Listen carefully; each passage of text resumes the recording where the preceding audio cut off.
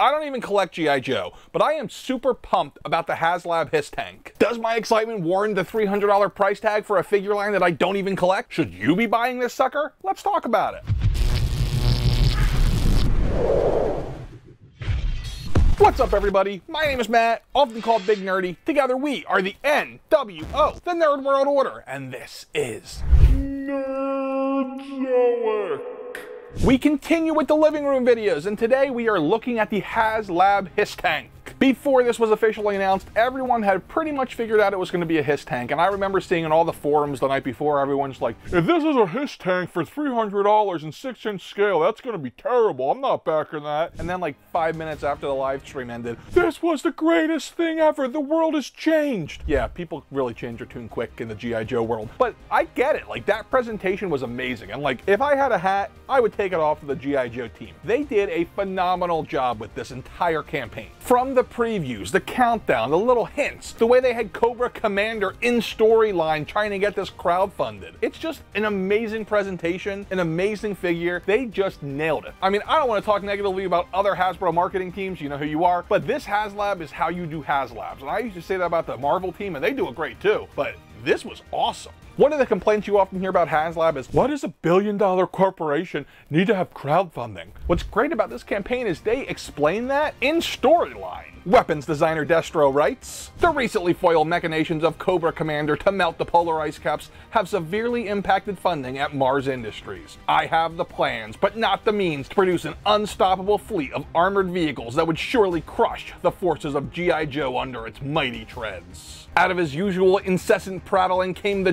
germ of an idea from Cobra Commander that may provide the necessary capital to make these designs a reality. His latest scheme is to appeal to the masses themselves and have them finance it for us. It is quite diabolical, actually, as I have found a fool and his money are soon parted. As a result, Mars Industries has subcontracted HasLab, who were unwitting accomplices in our Cobra hack of the G.I. Joe Sky Striker campaign, to crowdfund the production and distribution of the first ever G.I. Joe classified series Cobra Hiss vehicle on 6-inch scale. They will carry the water to realize my genius. The marketing gods are smiling upon you, classified team. Hell of a good job. So where to start with this thing? Let's start at the beginning. What is a Hiss tank? The Cobra High Speed Sentry, Hiss for short, has been the dominant tank used by Cobra forces since the organization's inception. The Hiss has been upgraded and remodeled over time, but all variants share a very similar general design, featuring dorsal mounted cannons and a canopy. The Hiss was developed to fulfill two separate needs on the battlefield, anti-personnel and heavy armor. The Hiss tank is the most versatile and deadly opposition on any battlefield. Whether on city streets or through the dense jungle, the Hiss can outrun, outmaneuver, and outperform anything in its class. Simply put, the Hiss tank is war. Here's what we know about this thing so far. It is the first G.I. Joe classified HasLab. It needs 8,000 backers to back. As I film this, it currently has 16,265 backers and 35 days to go. So yeah, I'd say they made it. The deadline is 11.59 p.m. on August the 15th, and it will cost you a whopping $300 to help Cobra Commander realize his dream. Let's talk about the features. First off, we got battery-powered interior and exterior LED lights. This includes a red Cobra insignia beacon that shines from the front, functioning wheels and moving treads, an elaborately detailed cockpit design with an illuminated control panel, a gull wing style canopy, and a rear cargo bay. But wait, there's more. There's an articulated turret with posable cannon accessories, removable engine cover details, removable armor plating skirt, extendable cockpit bordering ladders, and of course, a Hiss tank driver, and this one's coming in a G.I. Joe classified style package, and it's numbered. Let's talk about unlocks, because we already unlocked all of them. Unlock number one was removable side-mounted missile racks. Unlock number two was a retro Hiss canopy and retro armor-plated tread skirts. Unlock number three was a weapons accessory pack and Hiss gunner. I don't know if that figure's numbered or not. If it is, people are going to go crazy for it. It might just come in a little baggy in the box, who knows.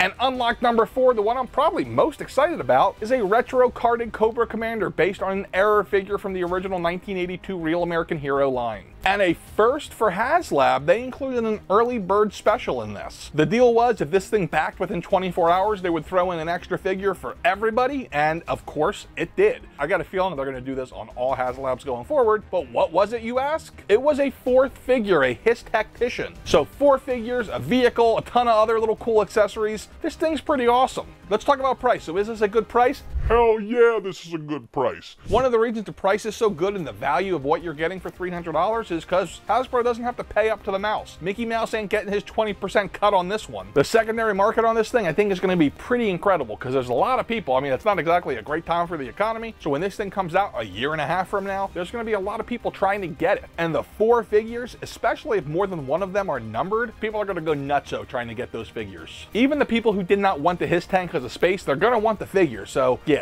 if you decide you don't want this later, it's not going to be a problem. If you're considering buying this and you're just kind of like on the fence, like, ah, I don't know if I should buy this, ask yourself these questions. Do you collect G.I. Joe? Then yes. Do you collect G.I. Joe Classified? Then yes. Have you once thought about collecting G.I. Joe Classified? Yes. Have you ever heard of G.I. Joe Classified? Then yes, buy it. Bottom line, everyone needs to buy this thing. That is how amazing it is. I am so pumped for it. It is super cool. If you have any consideration that you might want this, go buy it now. As for me, yes. This will be the very first G.I. Joe classified figures in my collection, and I think I'm gonna wait to buy any others until this comes in so I can set up a display and that'll be like opening classified for the first time a year and a half from now. But I am like so excited for this thing. First time in my life I'm gonna own G.I. Joe figures. How screwed up is that for an 80s kid? If you're wondering if I'm always this positive about HasLabs, the answer is no. If you don't believe me, check out this video here, where I completely poop on the Rancor HasLab because it did not go very well. And remember, you gotta get old, but you don't have to grow up. Just be cool